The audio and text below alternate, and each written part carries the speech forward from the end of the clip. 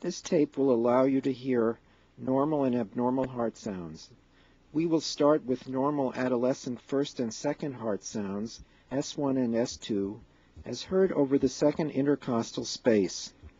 The heart rate in a younger child would be more rapid depending on age. Note that the second sound is composed of two components, A2 and P2, separated more widely during inspiration. Inspiration. Expiration. Inspiration. Expiration.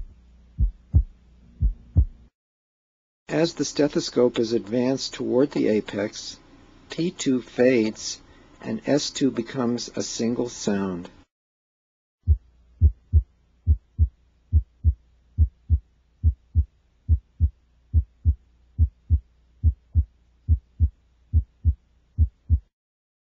Several conditions, such as right bundle branch block, will increase the separation of A2 and P2. P2 is delayed and the second sound will be widely split. Inspiration.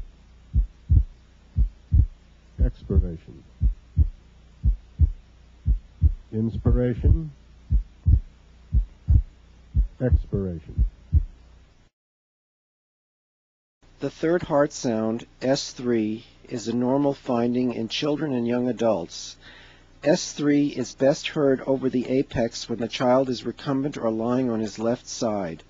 Listen now to a third heart sound.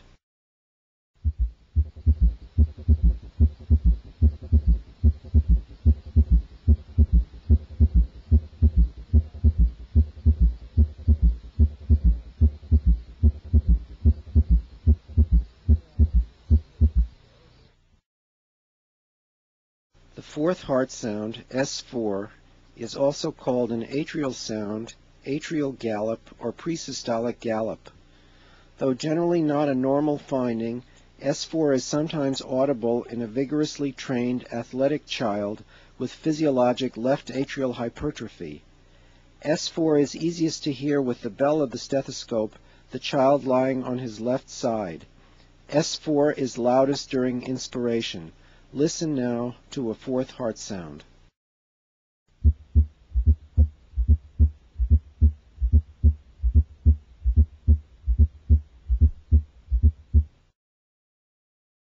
When the four heart sounds S1, S2, S3, and S4 occur in the same patient, they produce a quadruple rhythm.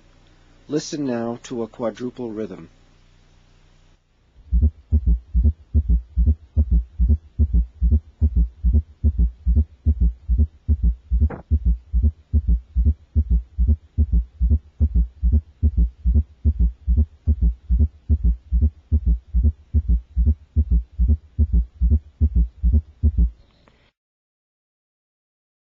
When a third heart sound S3 and a fourth heart sound S4 occur at the same time, they may be perceived as a single mid-diastolic sound, the summation gallop.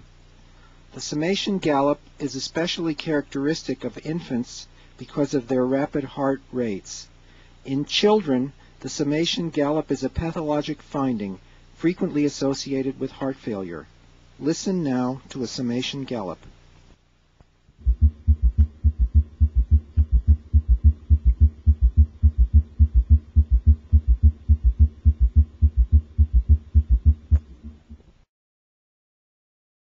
Systolic ejection sound, generated by the aortic or pulmonic valves, is a frequent finding in children and is loudest during expiration.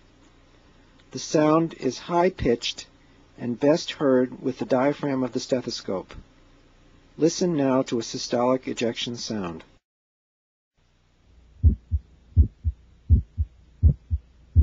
Inspiration.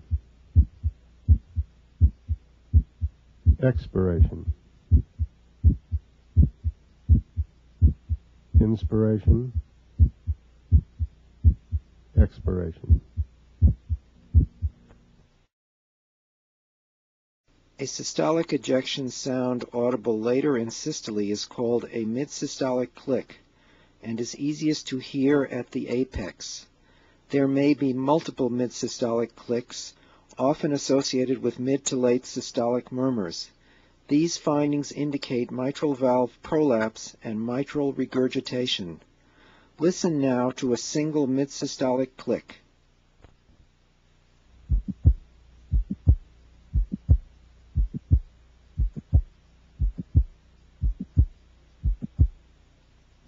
Listen now to two mid-systolic clicks.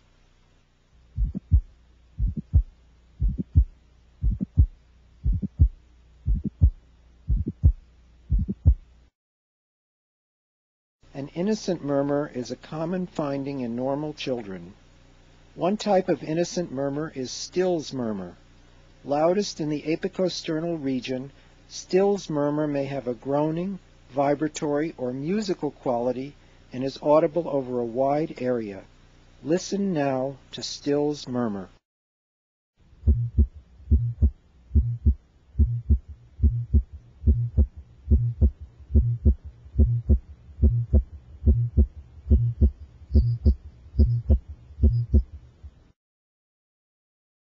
A common systolic murmur is the murmur of mitral regurgitation. The murmur of mitral regurgitation is loudest at the apex, is audible throughout systole, is often accompanied by a third heart sound, and is high-pitched and blowing. Listen now to a third heart sound and the murmur of mitral regurgitation. There is also a mid-diastolic murmur audible.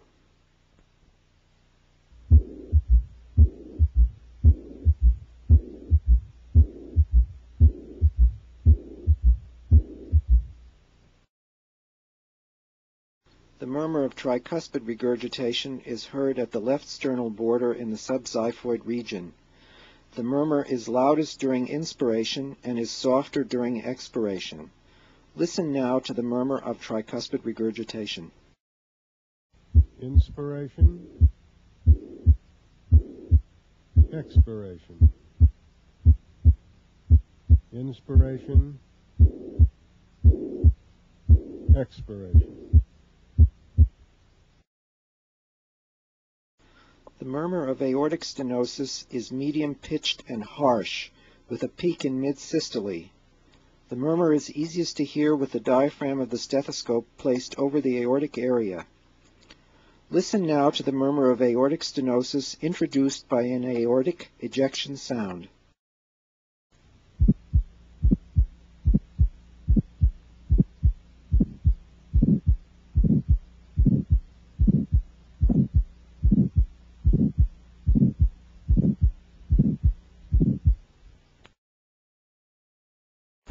Pulmonary stenosis is often a part of congenital disorders, such as tetralogy of Fallot, Williams syndrome, and Noonan syndrome. The murmur of pulmonary stenosis is heard best in the pulmonic area, the second intercostal space along the left sternal border. The murmur radiates into the neck or the back, has a crescendo-decrescendo shape, and a harsh quality. Because it takes longer for the right ventricle to eject its blood through the stenotic valve, the closure of the pulmonary valve is delayed. This widens the slight gap between the closure of the aortic and pulmonary valves in the second heart sound, and prominent splitting of the second sound can be heard. The murmur of pulmonic stenosis may extend beyond A2, but ends before P2 maneuvers which increase venous filling and blood flow into the right ventricle, such as deep inspiration, will tend to increase the intensity of the murmur. Listen now to the murmur of pulmonic stenosis.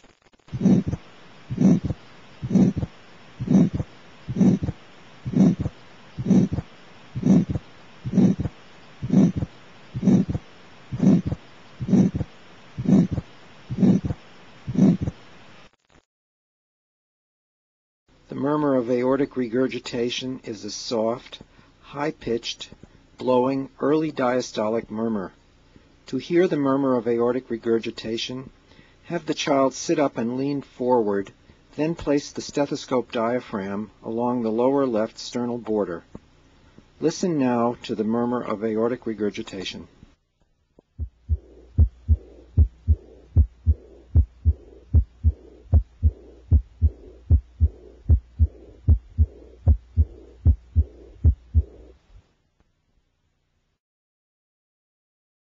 A continuous murmur, audible through systole and diastole, usually is caused by a communication between a high-pressure systemic artery and either the pulmonary artery or a systemic vein. The murmur of patent ductus arteriosus is one example of a continuous murmur. The continuous murmur of patent ductus has a machinery-like quality. It must be distinguished from the murmur of combined aortic stenosis and aortic regurgitation, the to and fro murmur. Listen now to the sound of the continuous murmur of patent ductus arteriosus.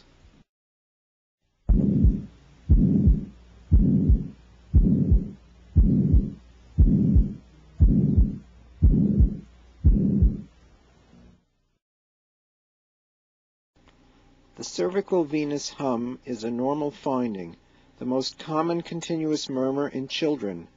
The hum is loudest during diastole in the supraclavicular space over the right internal jugular vein.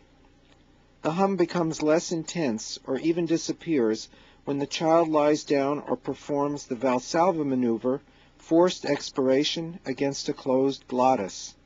Gentle pressure on the internal jugular vein, just above the head of the clavicle, also causes the hum to disappear.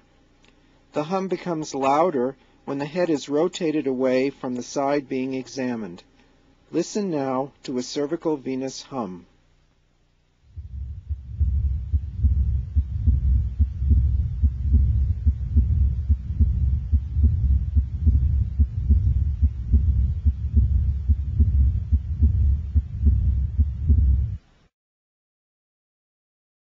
The Blalock-Taussig operation was the first procedure used for tetralogy of Fallot.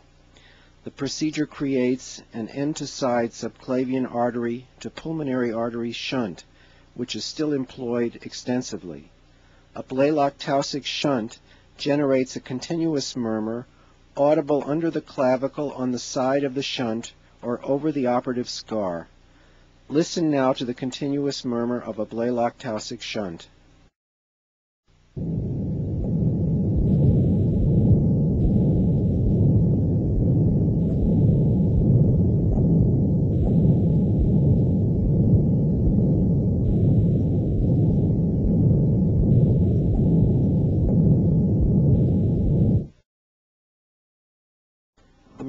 Ventricular septal defect is holosystolic, loudest at the fourth intercostal space.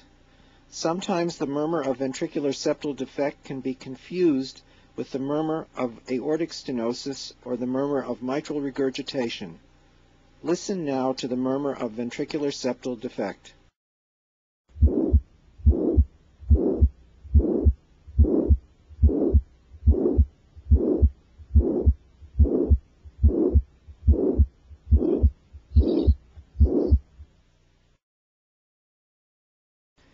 Murmur of atrial septal defect is mid-systolic.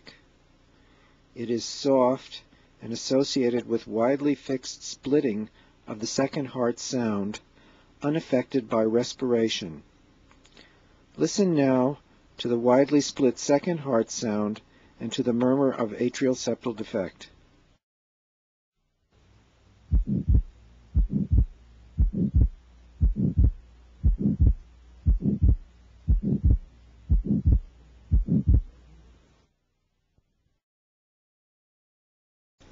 An occasional patient with mitral valve prolapse will have a late systolic honk or whoop replacing the late systolic murmur. The whoop is sometimes loud enough to be sensed by the patient. Listen now to a late systolic whoop.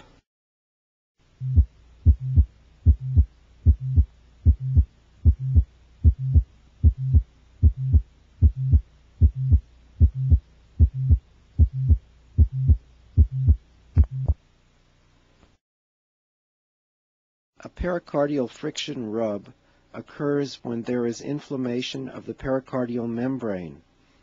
The rub usually has three components, mid-systolic, mid-diastolic, and late diastolic. The rub is best heard along the lower left sternal border. Listen now to a pericardial friction rub.